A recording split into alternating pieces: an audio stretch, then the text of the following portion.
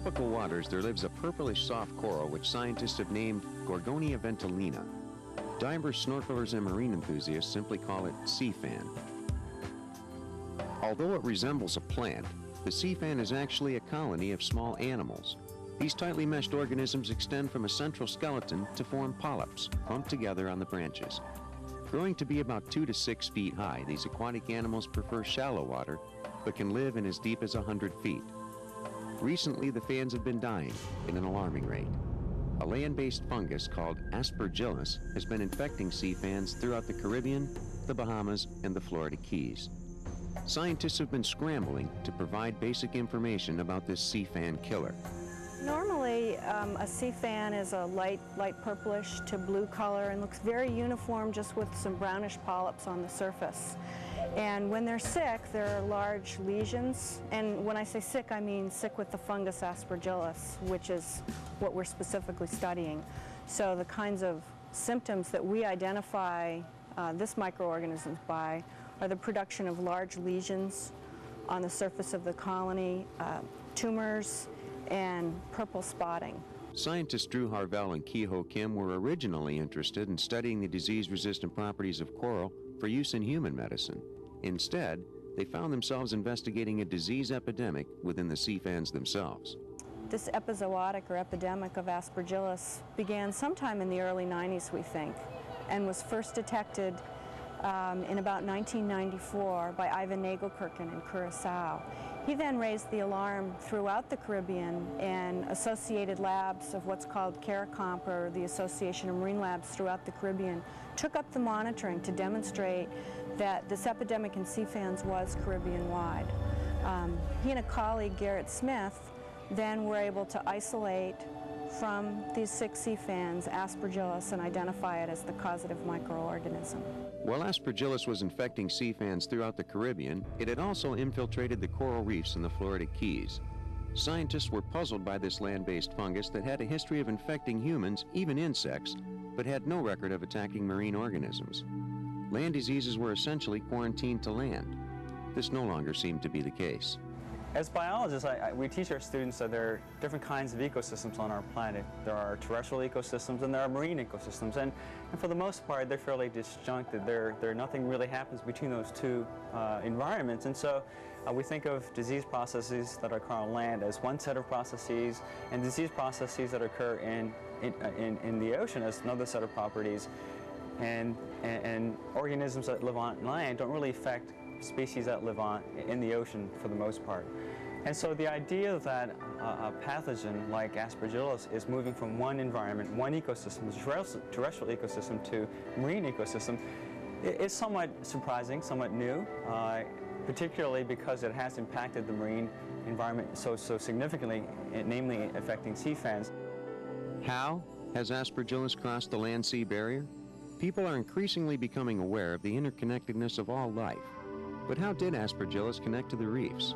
What road did the fungus travel when migrating from land to sea? There are three theories that scientists are currently exploring. The first theory is that aspergillus fungus was transported in water runoff from land.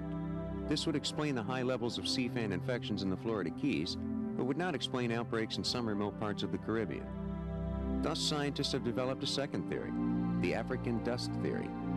The hypothesis states that wind-blown dust from North Africa carries microorganisms and deposits them in tropical waters.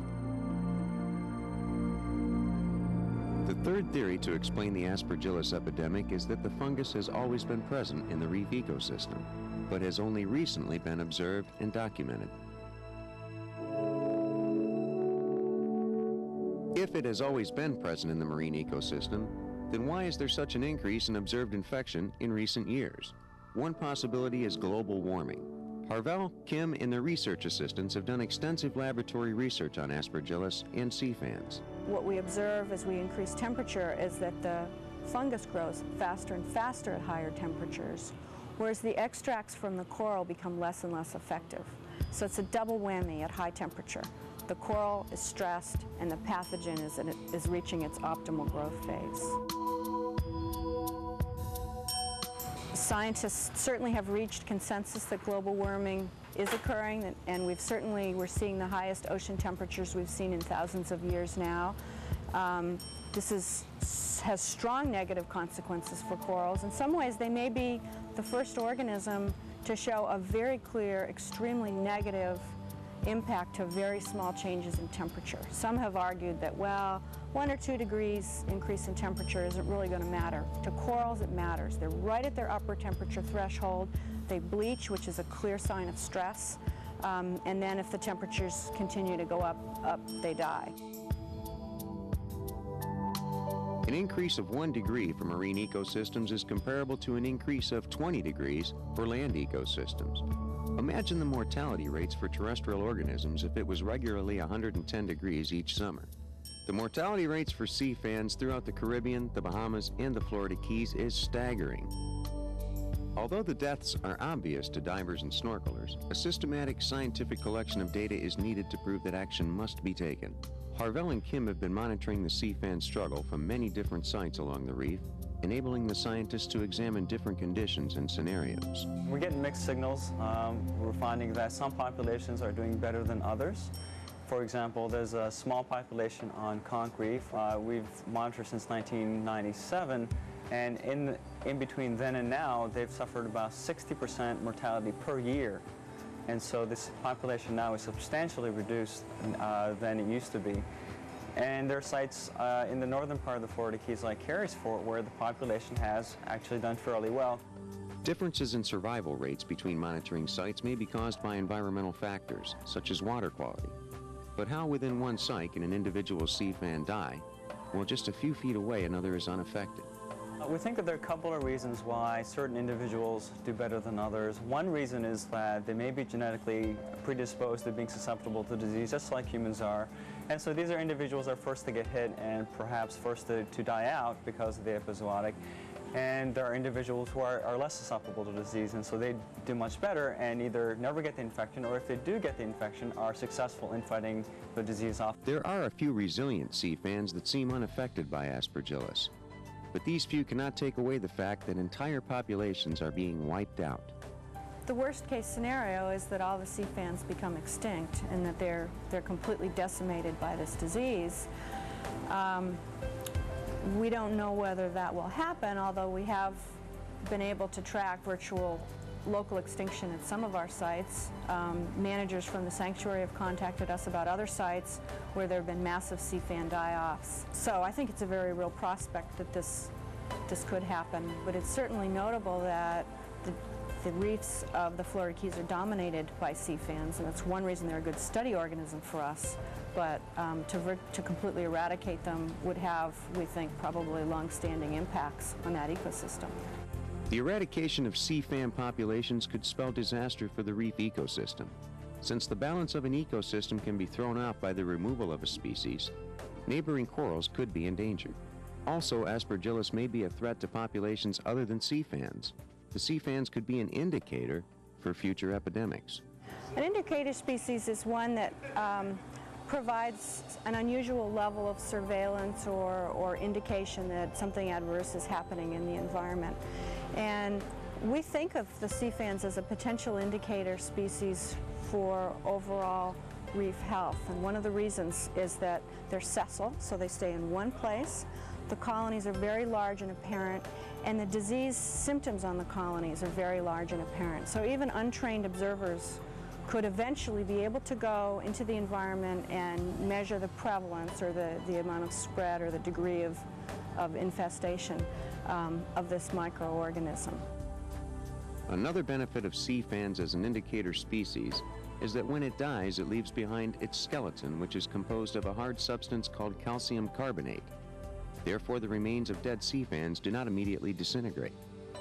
Visitors to just about any reef can witness the destruction left behind by the fungus aspergillus.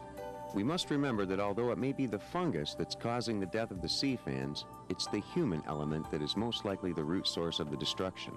So while we must continue to support individuals like Drew Harvell and Ki-Ho Kim, and organizations like the National Marine Sanctuary and Reef Relief, we must also do our own part.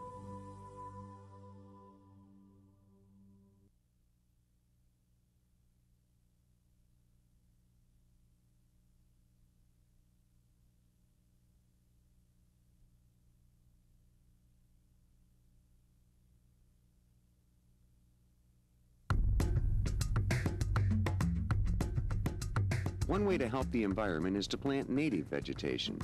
When choosing species for your yard or garden, choose carefully. Your decision can have a major impact on the ecosystem. Chris Bergh of the Nature Conservancy explains the fundamental differences in types of vegetation. Well, when people talk about the difference between native plants and exotic plants, I think that it's it's really important to to get your terms straight. Native plants are obviously species that have been found here naturally. They were not introduced by people. And exotic plants um, typically are species, or always are species that are from another area of the globe. Uh, the difference between an exotic plant and an invasive exotic plant is that the invasive exotics have proven themselves to be capable of, of uh, seeding into uh, natural areas and overtaking natural areas. Uh, some examples of those are Brazilian peppers and Australian pines. And as the names imply, they're not from South Florida, they're from Brazil, Australia, wherever they may be from. And in their own native habitat, they're an important and healthy part of the natural ecosystem. Having been introduced into South Florida, where they have no predators and um, they really are out of balance with the ecosystem, they can very easily uh, take over and displace native species. And when you lose your native plant species, you can then also have negative impacts on native wildlife. This is the seven-year apple, and it's a very salt-tolerant plant, common along the backsides of dunes and uh, coastal berms throughout the Keys. This one will grow in uh, most any yard if you care for it properly, but it's particularly adapted to salty conditions and does well uh, along canals or along natural shorelines. It's got a very attractive uh, flower with a, a nice, not super strong, but a nice odor. Over here behind us, we can see the fruits of this seven-year apple. They don't really bloom every seven years or fruit every seven years as the name suggests, but they do have one of the largest native fruits in the Keys. A lot of our native plants are, are good for attracting butterflies in the Florida Keys, uh, basically because Florida Keys has 67% of Florida's butterfly representative species and 10% of North America's species. So when you do landscape to attract wanted wildlife, you know, butterflies, uh, you have a chance of, of, putting a wildlife refuge in your yard.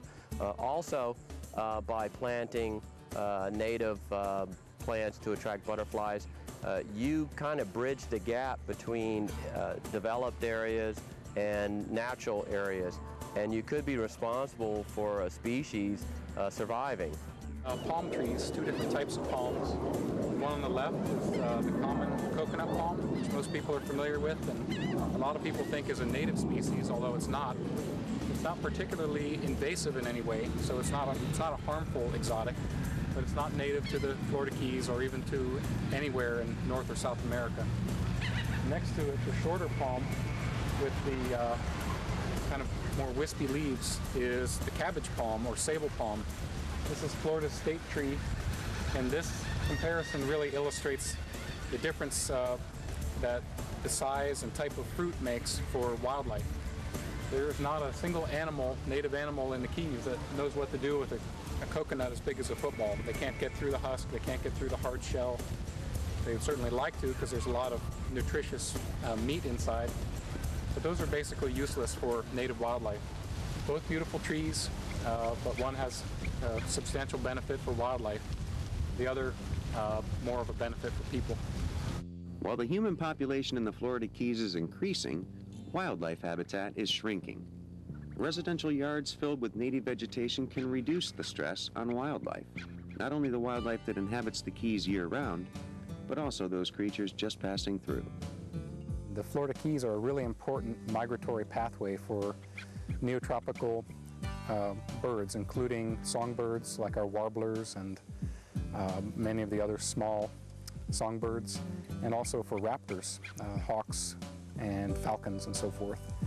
And those things, as they're traversing from North America to South America, most of the uh, eastern uh, individuals all the way up into Canada and the U.S come down and funnel down through the Keys, which are a very narrow uh, chain of islands, and if there's nothing for them to eat along that chain, they stand a much less of a chance of reaching Cuba and then the Caribbean islands and then ultimately Central or South America, which is their next big source of food. So if there's if there are no native plants and therefore uh, no native wildlife uh, along their path, they uh, stand a diminished chance of, of making it. Helping wildlife to survive is reason alone to create native landscaping. But there are many more incentives for communities in Florida and especially in the Keys. One reason is the conservation of energy. Well, it's it's very important uh, to keep in mind that native species have a variety of benefits other than just uh, for wildlife and other than just aesthetic benefits. Um, they can help you by providing shade. They can reduce the cooling costs of your house. They can in, they can reduce your landscape maintenance costs over the long term by uh, reducing the needs for trimming and watering and fertilizing and so forth. And uh, perhaps most importantly, uh, they reduce the need for heavy watering. A lot of the exotic species, be they good or, or bad exotics, uh, are not adapted to the periodic seasonal drought that we have here in the Keys. And this is the gumbo limbo tree. Uh, it's usually referred to as a tourist tree because it looks like uh, sunburned tourist skin peeling here. But if you need a tree that uh, will give you a lot of shade, it'll cover your whole house. It's not that invasive on the uh, structures, but the gumbo limbo tree. By planting native species in your yard, you will not only save money, you'll save time. When planting exotics, prepare for a long uphill struggle to keep a species alive in an environment that is hostile and foreign to them. The uh, native species in general are hardier than uh, our exotics, not necessarily hardier than the invasive exotics, which are basically uh, bulletproof. But the many of the exotics are not adapted to either hurricane, uh, storm force winds, or our droughts. This is wild coffee. Uh, this plant, although it's thriving out here in the sun, is also fairly shade tolerant. It's in the coffee family, as the name implies, and the berries that you see here are similar to coffee beans on the inside, but you do not want to eat them. They're actually toxic.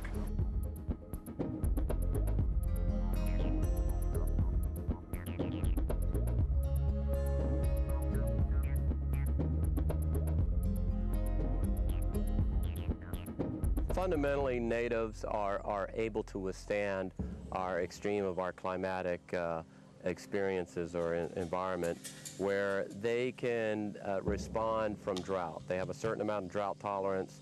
Uh, they have a certain amount of salt tolerance. Uh, they uh, actually respond well to flooding um, and you know the, all the host of all our environmental impacts or natural environmental impacts. Um, also, uh, use native ground covers instead of turf, uh, which is responsible for a lot of our uh, lawn maintenance chemicals.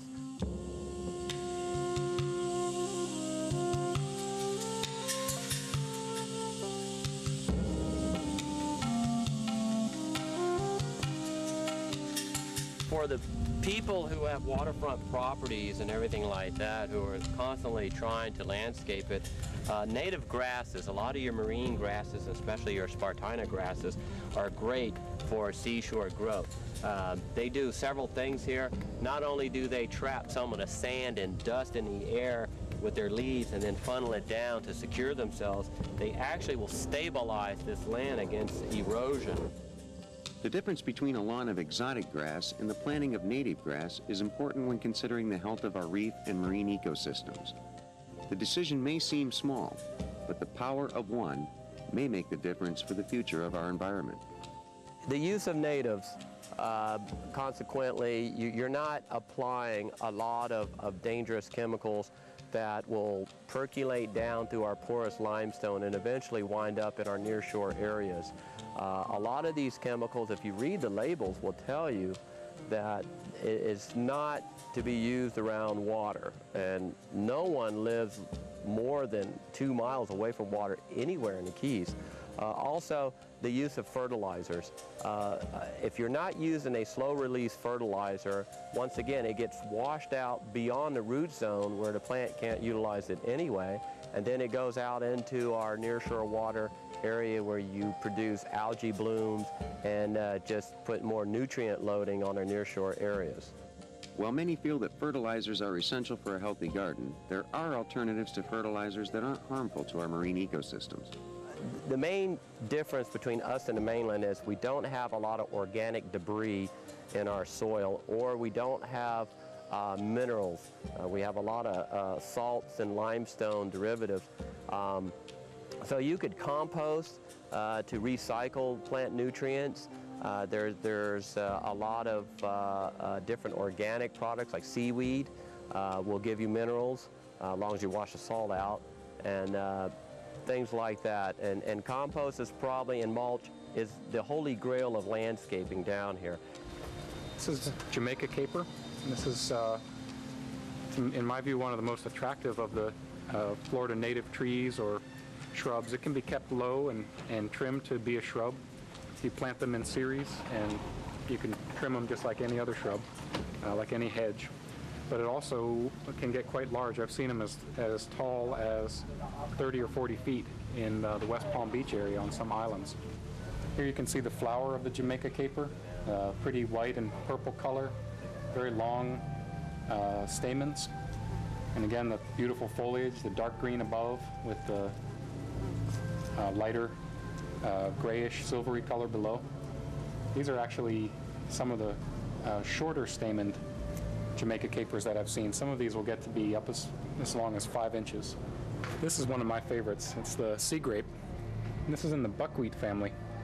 Um, sea grape, to my eye, has one of the greatest foliages. It's a large, plate-shaped leaf. It's got a lot of uh, red in the veins, dark green above, and paler below. Um, this is one of uh, several trees in the Keys that actually does provide us with a little bit of color. Uh, the leaves will turn red before they fall. Uh, not necessarily in the fall, but typically in the dry season. And then they'll come back right away. They don't, they don't stay bare for very long. Not considering the beautiful red leaves of the sea grape, detractors of indigenous landscaping often claim that exotics are more beautiful than natives. Although beauty is in the eye of the beholder, one need only behold the beautiful blues on the Lignum vitae tree or join the vast populations of butterflies and hummingbirds that enjoy the bright red flowers of the flame bush. There is much support for those who wish to transform their yard into a Florida yard. It need not be a chore, but an adventure in learning about local nature in a way of reconnecting with our environment. Florida Yards and Neighborhoods, an extension service of the University of Florida, has programs throughout the state. Contact them at 305-292-4901 or visit their website at monroe.ifas.ufl.edu. Or get in touch with the Nature Conservancy and find out about their numerous educational outreach programs and their annual plant fair.